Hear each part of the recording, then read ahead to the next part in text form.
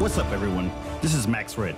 Today we're going to go over some basic chord progressions in Cubase 11 Pro. Let's get started. Once you've opened up a new project, the first step is to add a chord track. So hit the plus sign here on the track selector, hit chord, hit add track, and there you go. I like to put my chord track as number one on my channel list just to see what I'm doing. For this video, we're just going to do four bars. So set your guides to four bars, hit slash on your keyboard, and now you can loop. So the next step is to choose a VST instrument. Now right here I have preloaded Kontakt from my library, and since I'm going for a basic piano sound, I've chosen Noir from Native Instruments. Next, we have to link our chord track to our VST instrument. I'm using Kontakt, so that's the one that I'll be selecting. In order to draw in our chords, we must change our cursor to the pencil tool. Now you can draw them anywhere you want. I'm going to put one chord at each bar for this demonstration. Now we go back to our first chord and click on it. As you can see, there's a list of possible scales that we can choose. I'm going to choose F minor. Now you click on the right arrow and it'll move the options to the next chord.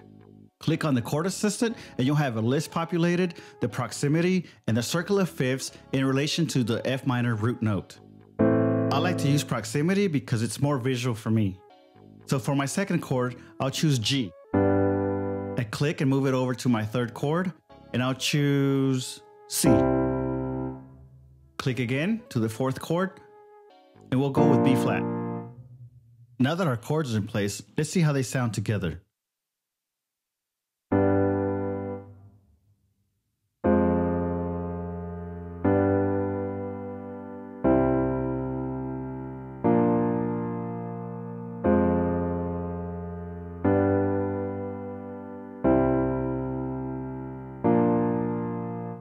I'm gonna go ahead and speed it up to 130 BPM. A little bit more up tempo.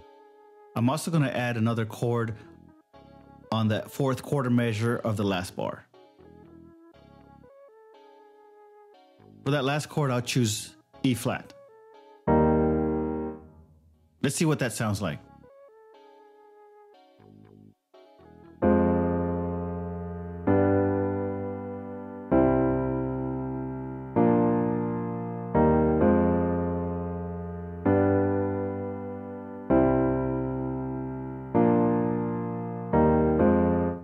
At this point, if you're happy with your chord tracks, you can highlight them and move them over to your VST instrument.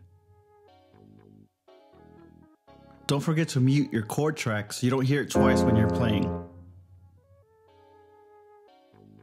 Let's see what that sounds like.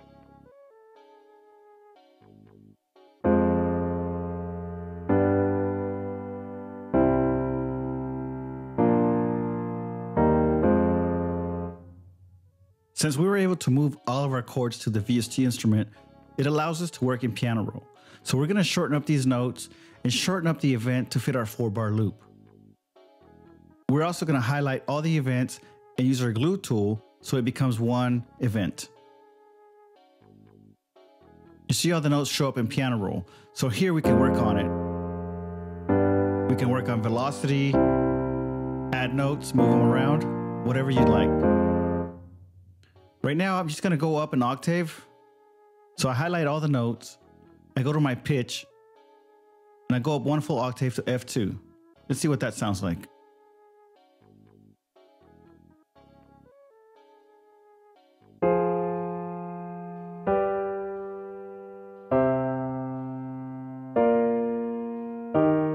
You can see how this could be a valuable tool, especially when you're writing music or trying to match the scale to a project. If you like this video and you want to see more like it, click on the link and send me a comment. Thank you.